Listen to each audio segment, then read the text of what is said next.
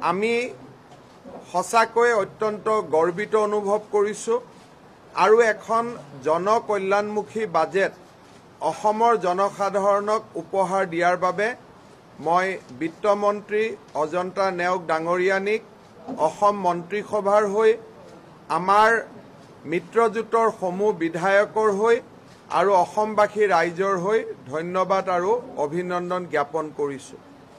প্ৰায় এক লাখ সাত হাজাৰ কোটি টকা ব্যয়েৰে এই বিত্তীয় বৰ্ষৰ বাবে শ্ৰীমতী নেওগ ডাঙৰীয়ানীয়ে এখন পূৰ্ণাংগ বাজেট দাখিল কৰিছে।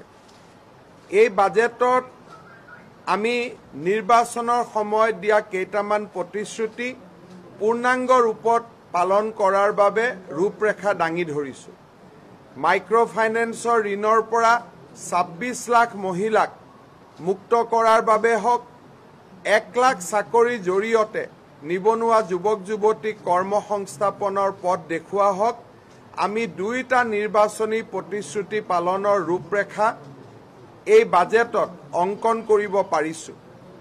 অৰুণোদয় আঁচনিৰ হিতাধিকাৰীৰ সংখ্যা প্ৰতিটো সমষ্টিত প্ৰায় পাঁচ হাজাৰলৈকে বৃদ্ধি কৰি আৰু অৰুণোদয় আঁচনিৰ ধন এহেজাৰ টকালৈ বৃদ্ধি কৰি বিত্তমন্ত্ৰী ডাঙৰীয়ানীয়ে আমাৰ অসমৰ আই মাতৃসকলৰ শ্ৰীচৰণত আমাক আমাৰ শ্ৰদ্ধাঞ্জলি নিবেদন কৰিছে।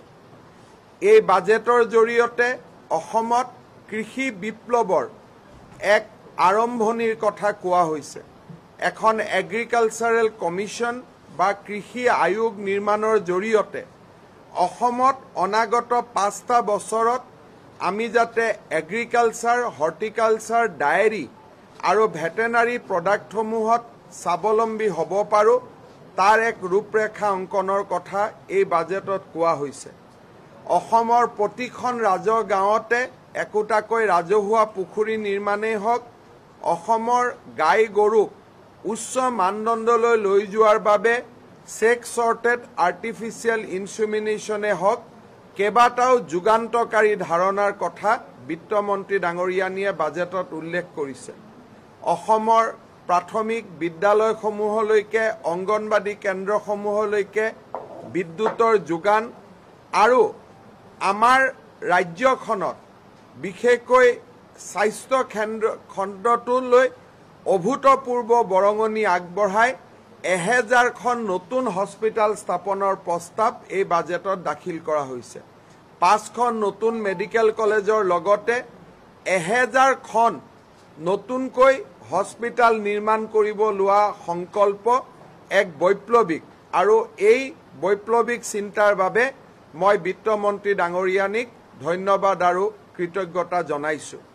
এই বাজেটত আপোনালোকে জানে যে যোৱা কভিড মহামাৰীৰ সময়ত ইংৰাজী মাধ্যমত বা বেচৰকাৰী বিদ্যালয়ত পঢ়া ছাত্ৰ ছাত্ৰীসকলে স্মাৰ্টফোনৰ জৰিয়তে ডিজিটেল ক্লাছ লোৱাৰ সৌভাগ্য হৈছিল। ডিজিটেল ডিভাইডে শিক্ষা ব্যৱস্থাক পংগু কৰি দিব ওলাইছিল। দুখীয়া ল'ৰা ছোৱালী এক প্ৰকাৰ শ্ৰেণীৰ পৰা আঁতৰি আহিছিল। বিত্তমন্ত্ৰী ডাঙৰীয়ানীয়ে প্ৰায় দহ হাজাৰ টকাকৈ খৰচ কৰি আঠ লাখ ল'ৰা ছোৱালীক স্মাৰ্টফোন আৰু ফ্ৰী ইণ্টাৰনেট পেকেজ যোগান ধৰি ডিজিটেল ডিভাইডক ধ্বংস কৰি দুখীয়া লোকসকলক দুখীয়া ছাত্ৰ ছাত্ৰীসকলক আগুৱাই লৈ যোৱাৰ বাবে যি প্ৰস্তাৱ দিছে তাৰ বাবেও মই তেখেতক ধন্যবাদ আৰু কৃতজ্ঞতা জনাইছোঁ। ৰাজহ আহৰণৰ ক্ষেত্ৰত এই বাজেটে এটা যুগান্তকাৰী ধাৰণাৰ কথা উল্লেখ কৰিছে। আমি নিজৰ ঘৰ বনাবৰ সময়তে হওক বা বিল্ডিং হস্পিটাল বা বিভিন্ন ৰেলৱে ট্ৰেককে ধৰি বিভিন্ন উন্নয়নমূলক কাম কৰিবলৈ যাওঁতে ফৰেষ্ট বিভাগত ৰয়েলিটি দিব ইচ্ছা থাকিলেও কেতিয়াবা কেতিয়াবা বিভাগৰ বিষয়াসকল বা ব্যুৰক্ৰেটিক অসুবিধাৰ কাৰণে ফৰেষ্ট ৰয়েলিটি জমা দিব নোৱাৰিছিল।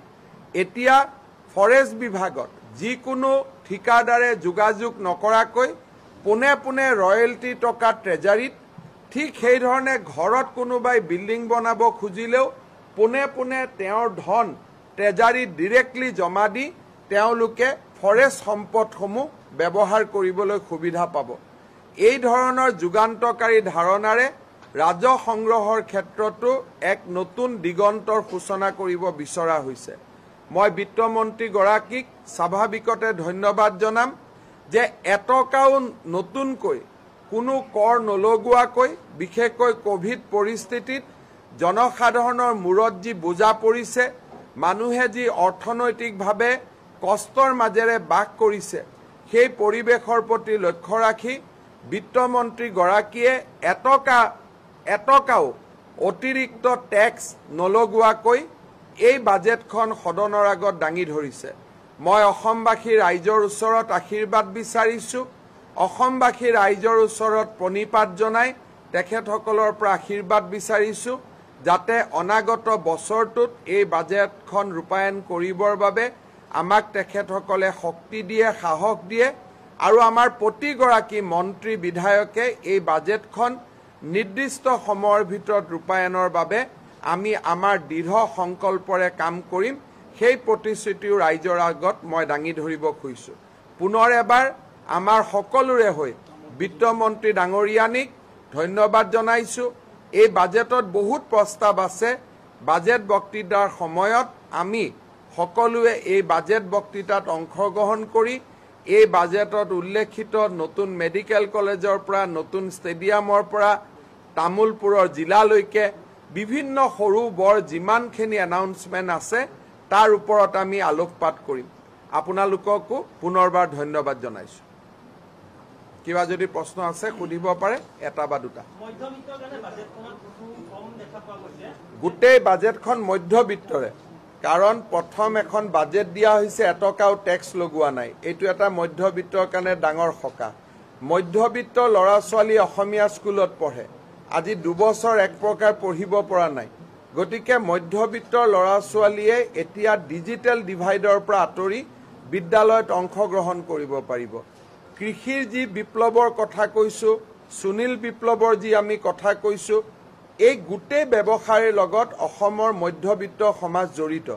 গতিকে এই ধৰণৰ অৰ্থনৈতিক আঁচনিবিলাকে দৰিদ্ৰ আৰু মধ্যবিত্ত কল্যাণৰ বাবে কাম কৰিব।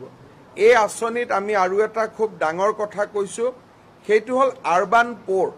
যিসকল আৰবান প'ৰ থাকে তেওঁলোকে মহানগৰ আৰু নগৰসমূহৰ নিৰ্দিষ্ট স্থানত তেওঁলোকে দুপৰীয়াৰ ভাত সাজ কুকিং মিল হিচাপে খাব পৰাৰো ব্যৱস্থা আমি ৰাখিছোঁ যে গুৱাহাটী ৰেলৱে ষ্টেচনতে হওক ডি চি কোৰ্টৰ সন্মুখতে হওক ডিব্ৰুগড়ৰ ডি চি কোৰ্টৰ সন্মুখতে হওক কোনোবা ব্লক অফিচৰ সন্মুখত হওক আমি দুখীয়া মানুহখিনিক কুকিং মিল লাঞ্চটো আমি বনাই পেলাই খুওৱাৰো এটা সাংঘাতিক কল্যাণকামী এটা প্ৰকল্প এটা জনসাধাৰণৰ আগত আমি দাঙি ধৰিছোঁ। বেদখল আমি এইটো কৈছোঁ যে গুৱাহাটীৰ পাহাৰবিলাক আমি ড্ৰোনেদি ইয়াৰ মাৰ্ক কৰিম। যিসকল বহিলে তেওঁলোকৰ লগত আমি একো কৰিব নাযাওঁ। কিন্তু আৰু যাতে বহিব নোৱাৰে forest ডিপাৰ্টমেণ্টে twenty four hours control room কৰিব যাত ড্ৰোনেদি চাই থাকিব যে নতুন কোনোবা ঘৰ আহিছে নেকি। যদি নতুন ঘৰ আহিছে তেওঁলোকক আঁতৰাই পঠোৱা হ'ব। কিন্তু যিসকল পুৰণি গুৱাহাটীৰ পাহাৰত আছে আৰু ভাৰতীয় বাসিন্দা হয় আৰু ফৰেষ্ট আইনমতে আমি যিসকলক মাটিৰ পট্টা দিব পাৰোঁ গুৱাহাটীৰ মাটিৰ পট্টাৰ বিষয়টো আমি সোনকালে নিষ্পত্তি কৰিব খুজিছোঁ যাতে এই সমস্যাটো সৰ্বকালৰ বাবে শেষ হৈ যায়। আৰু কাকো ইয়াত উচ্ছেদ কৰা কথা হোৱা নাই। নতুনকৈ যাতে কোনো মানুহ নাহে তাৰ বাবেহে ব্যৱস্থা লোৱাৰ কথা কোৱা হৈছে। বাজেট বাজেটৰ লগত এইটো লিংক নহয় বাজেটত কম আমি।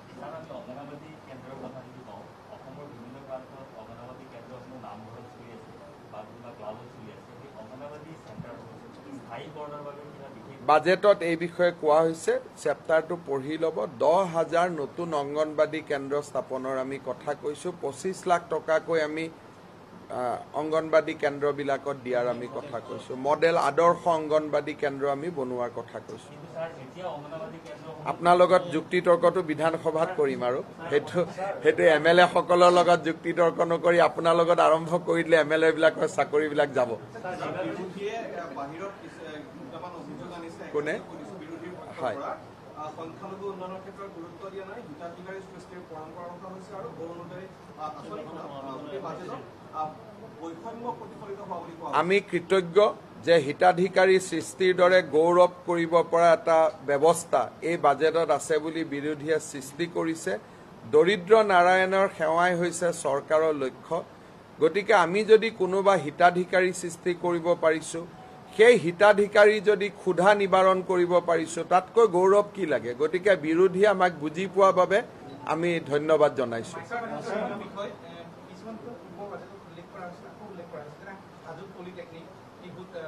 কামবিলাক চব চলি আছে কাৰণে উল্লেখ কৰা হৈছে কাৰণ বাজেটতো টকা দিব লাগিব। বাজেট মানে কি? প্ৰত্যেকবাৰে নতুন নতুন কথা কোৱা নহয়। বাজেট হ'ল ধনৰ আবলটন যদি এতিয়া হাজোৰ পলিটেকনিকখনত এই বছৰ যদি আপুনি ধনৰ আবলটন নিদিয়ে কামটোতো বন্ধ হৈ যাব। গতিকে যিবিলাক স্কিম কমপ্লিট হোৱা নাই সেইবিলাক চলি থাকিব। এইবাৰ বাজেটত এটা নতুন ব্যৱস্থা লোৱা হৈছে। বহুতবিলাক স্কিম এতিয়া আৰু দিছপুৰত আহিব নালাগে। যিবিলাক স্কিম চলি আছে ইঞ্জিনিয়াৰে ডাইৰেক্টলি ট্ৰেজাৰীৰ পৰা বিল লৈ কণ্ট্ৰেক্টৰক পে'মেণ্ট কৰিব পাৰিব। যিকেইটা আমি প্ৰকল্প ষ্টেট প্ৰায়ৰিটি বুলি কৈছোঁ। দিল্লীত আমি নামঘৰৰ জৰিয়তে এটা অসম সাংস্কৃতিক প্ৰকল্পৰ ধাৰণাও ইয়াত আনিছোঁ। গতিকে বাজেটত বহুতবিলাক কথা আছে কিন্তু আজি আমি ইয়াত আপোনালোকক গোট খাইছোঁ।